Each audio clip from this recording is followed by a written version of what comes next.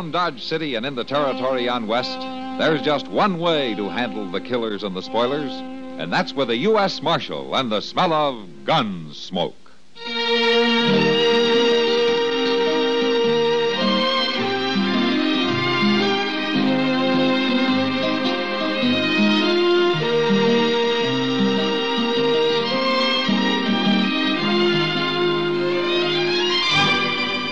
Gunsmoke, starring William Conrad. The story of the violence that moved west with young America. And the story of a man who moved with it. I'm that man. Matt Dillon, United States Marshal. The first man they look for and the last they want to meet. It's a chancy job, and it makes a man watchful. And a little lonely.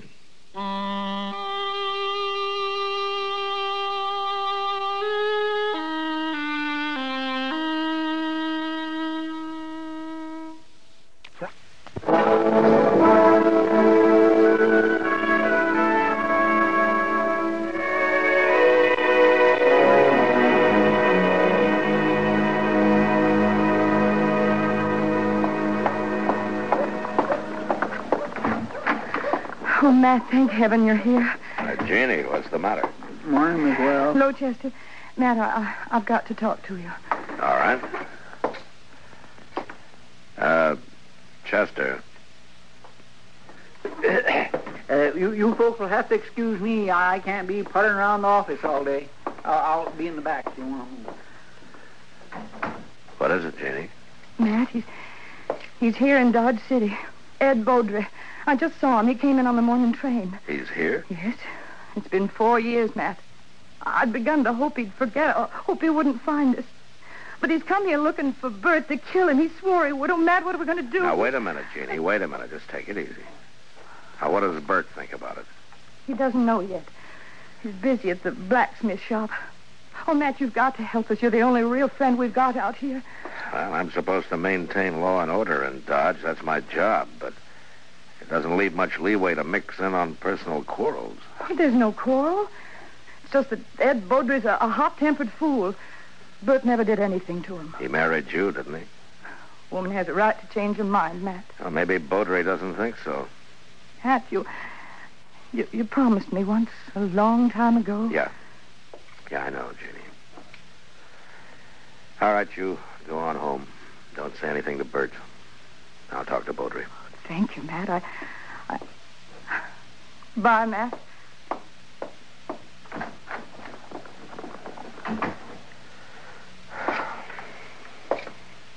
Chester. Yes, sir, Mr. John.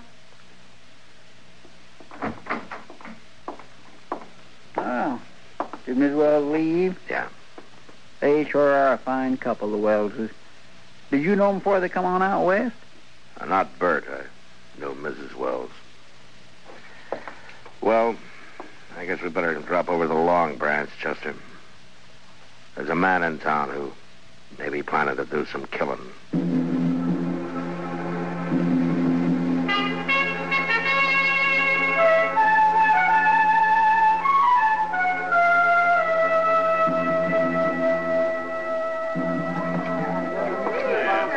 Hello, Matt.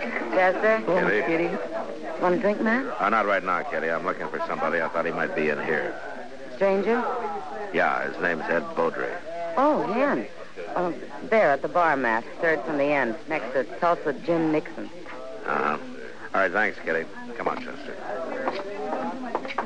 All right, bartender. Set up another round for the house. Yes. sir. Your name, Beaudry? That's right, mister. I'm Matt Dillon. I want to talk to you.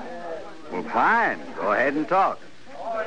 Uh, Tulsa, suppose you move on down the bar for a couple of minutes, huh?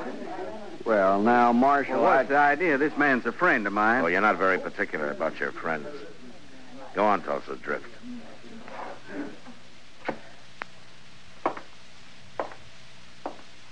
Beaudry, you came here to kill Bert Wells, didn't you? Did I? Well, here's some advice. You take the next train and you get out of town. Is that official? What's the charge? None yet. Murder if you go through with it. Murder's one thing. Calling a man in a fair fight's another thing. Baudry, I'm the law here in Dodge, and I don't see it as a fair fight. Bert's a blacksmith, and he's not used to handling a gun. You are. So I'm told. Now, who told you, Marshal? I don't know anybody here that... Wait a minute. Bert's wife, Jeannie. Yeah. I've heard Jeannie mention you. Said you knew her back in Louisville. That was before she ran off. We'll leave her out of this, Baudry. So that is it. This isn't official. You're just doing a personal favor for an old friend. Probably a very close friend. Jeannie always did have a weakness.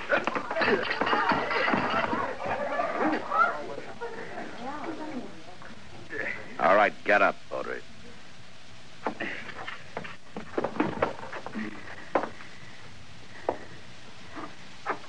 That was a mistake, Dillon. I'm not a blacksmith, Baudry. I'll look you up as soon as I finished with Bert Wells. If you kill Bert, you won't have to look me up.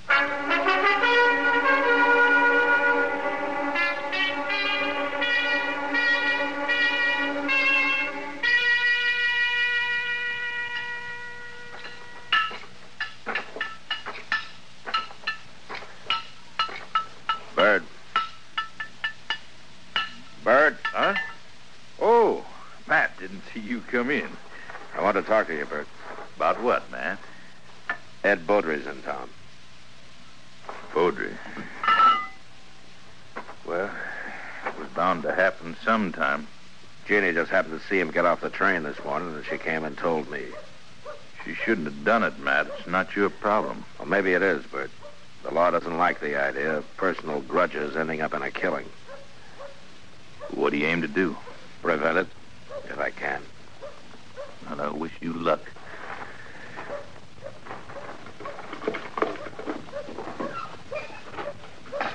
You haven't worn that gun for two years, Bert.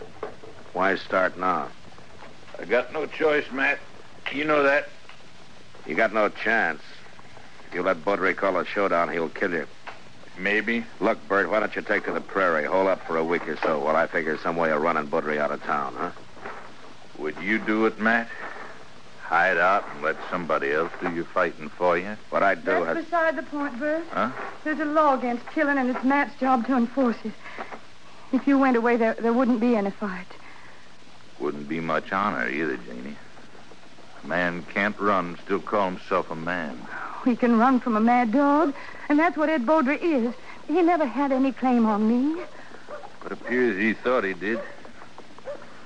Matt, you know where Baudry's staying? Well, I talked to him in the Long Branch. He probably took one of the rooms upstairs. Would you like to walk over there with me? If that's the way you want it. Oh, no, Bert, you, you... I'll get my hat. Be right with you. Matt. Matt, you've got to stop it. How, Jenny? I don't know, but there must be something you can do. Yeah, the way it's shaping up, I can probably arrest the survivor.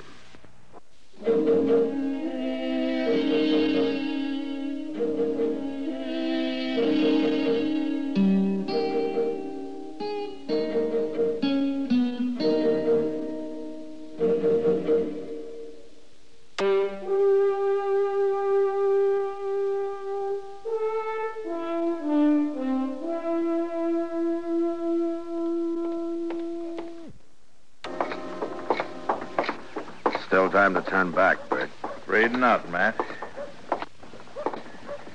I should have headed out with Baudry back there in Kentucky five years ago. But Jeannie wanted to run away and avoid trouble. She was so beautiful, it was hard to argue with her. Yeah, I know. Be hard on her if anything happened to you.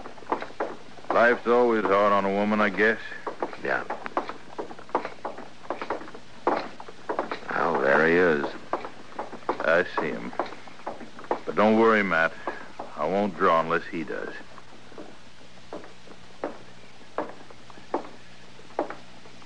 I was just going out to your place to call on you, Wells.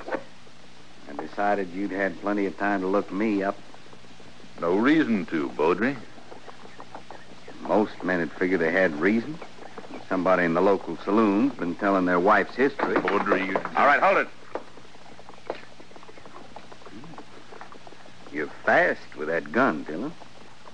Fast enough, Mr. Baudry. You make a good bodyguard.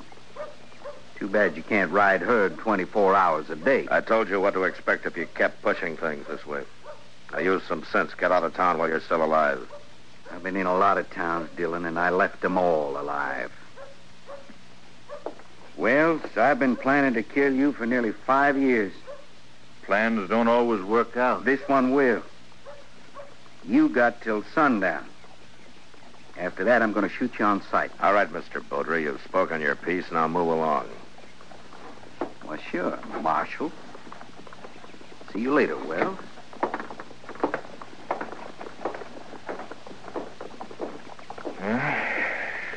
It's still a couple of hours before sundown. Think I'd like to spend them with Jeannie. I'll see you, Matt. Yeah, sure. Goodbye, Bert.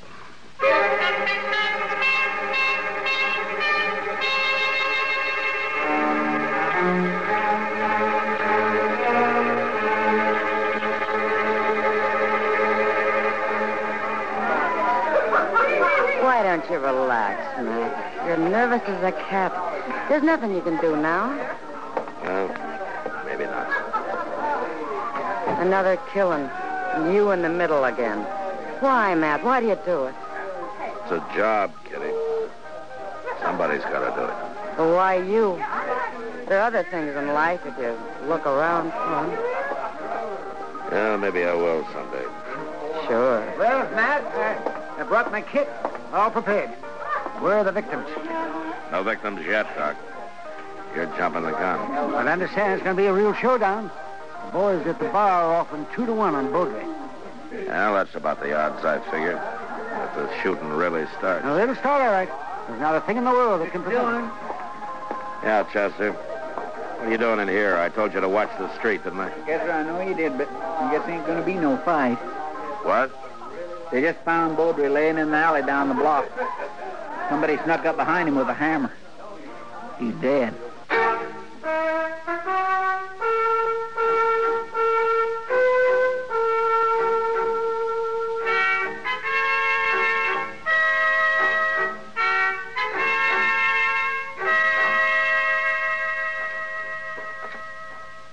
Ain't no light showing around the house, Mr. Dillon.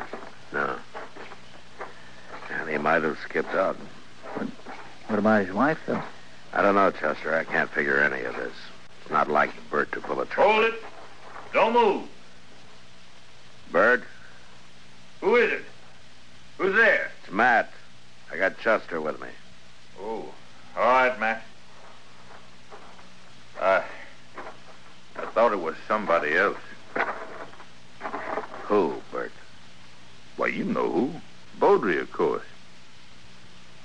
I guess I better take your gun. Official, Matt? Official.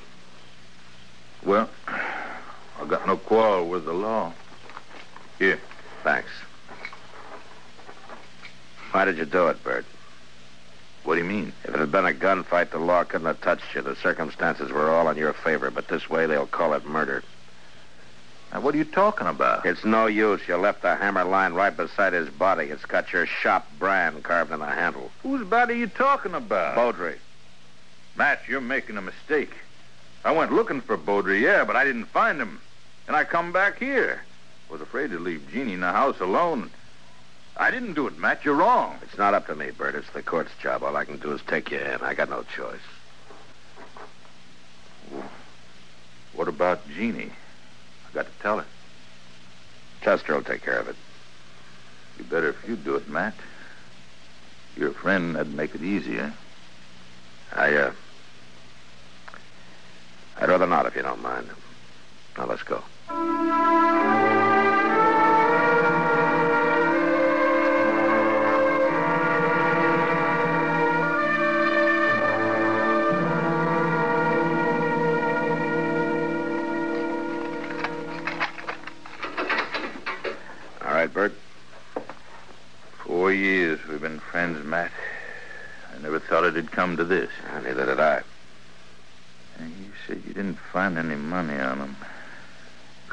Robbery. Oh, or made to look like robbery. Either way, there's nothing I can do. Now go ahead.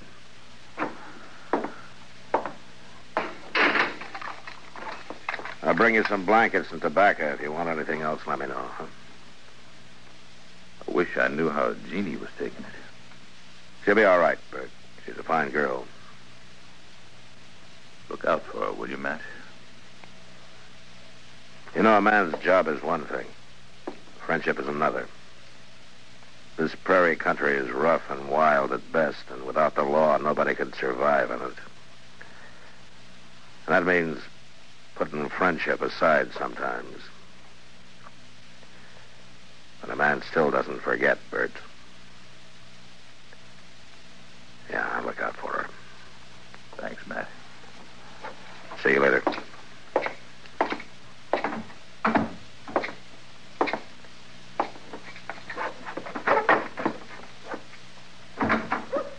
Yeah, get your prisoner tucked in safely, Matt. Yeah. What about Baudry, Doc? He's dead. A blacksmith's hammer makes a mighty fine weapon. At least for sneaking up behind. I can't figure Bert doing that. It's not like him. I can't figure it either. What would you say his chances are? Bad. The straws all point one way. Maybe somebody's been messing with the straw stack.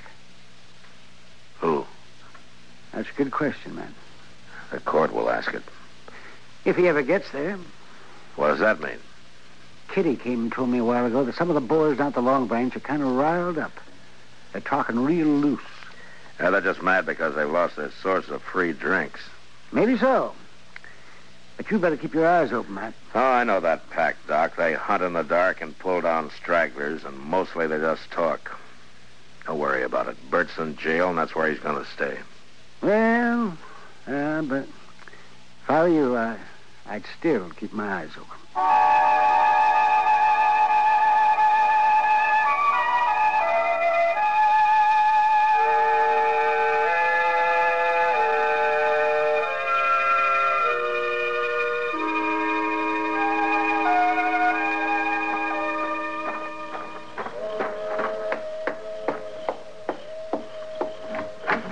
Matt?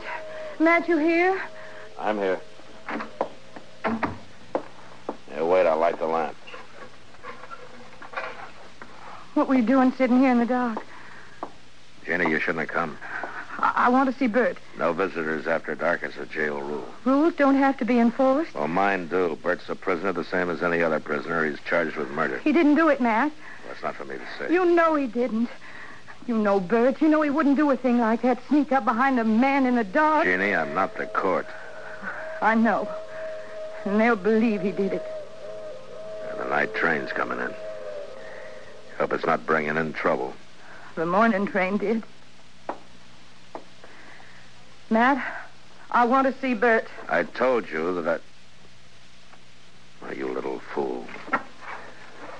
Now, Jeannie, give me that gun. No. Now, I warn you, Matt, you stay back. Give me that no, gun. Matt, so help me. I I'll- said hand it over.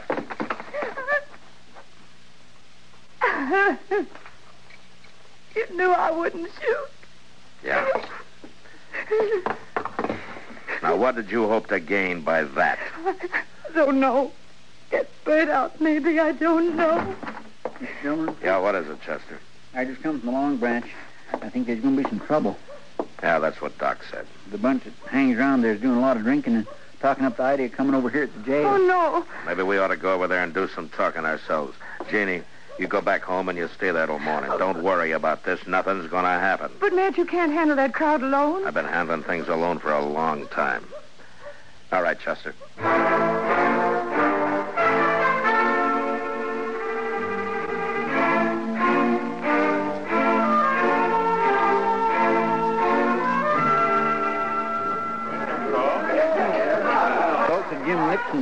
Nixon's the been egging them on. He's over there at the end of the bar.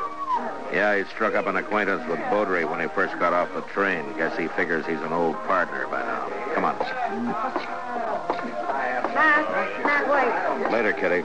I got some business with the boys at the bar. Well, that's what I mean. Tell us what Jim's been buying them drinks for the last two hours. They're in a pretty nasty mood. So? So be careful, Matt. That's all. Just be careful. Kitty, I'm the carefulest man you know.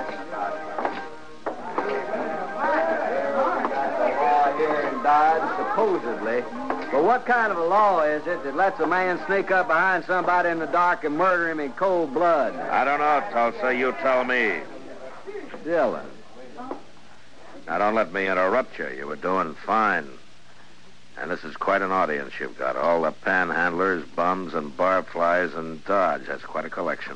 Calling names won't change the facts. What facts? That friend of yours, Bert Wells, that sneaking, cowardly murderer. That's for the court to decide, Tulsa. the court. He'll turn him loose. He'll work hand in glove with you. Dillon, we're not going to stand for it. All right, shut up! So you're not going to stand for it, huh? Well, just what are you planning to do? You'll find out in due time. Bartender, set him up again, all around. Now, you've turned into quite a free spender, Tulsa. I never knew you to. Well, a double eagle gold piece. You mind if I take a look at it? It's good. Don't worry about that. Where did you get it? That's my business. So you're the one who killed Beaudry. huh? That's a lie. I thought robbing him was just a cover-up, but it wasn't. There aren't many double eagles around Dodge. Beaudry had a lot of them. And now you. Where would you get a pocket full of gold pieces, Tulsa? Wells killed Beaudry. That blacksmith hammer was lying right beside him. Yes, right where you left it. Tulsa Jim came into my husband's shop late this afternoon. His horse had thrown a shoe. He had plenty of chance to steal that hammer. She's lying. Where did you get the gold, Tulsa? I, I won it in a poker game last week when the trail herd was in. Tulsa, you're under arrest for murder. Oh, no, you never take me.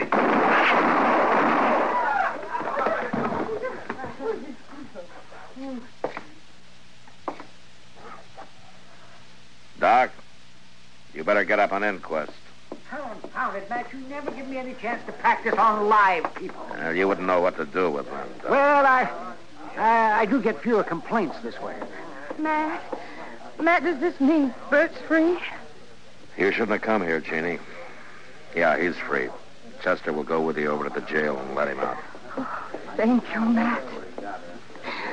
Thanks for everything. You told me one time in Louisville that Louisville? Well, that was a long time ago. And a long way off.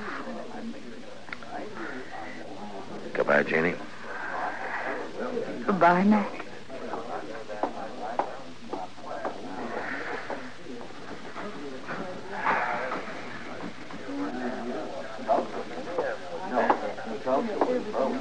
What's it all about, Matt? What's anything all about, Kitty? You knew her before, didn't you? Oh, I met her in Louisville one summer. Saw quite a lot of her for a couple of months. And then I drifted out west. Man misses out on things by drifting.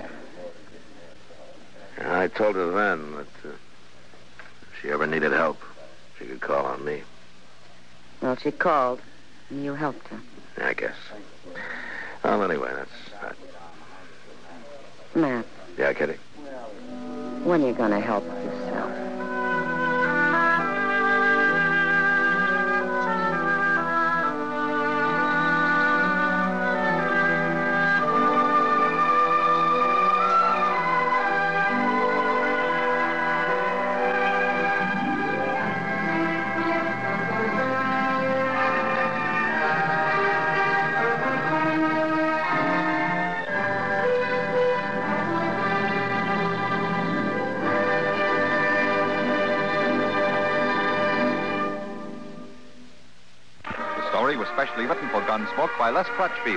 With editorial supervision by John Meston.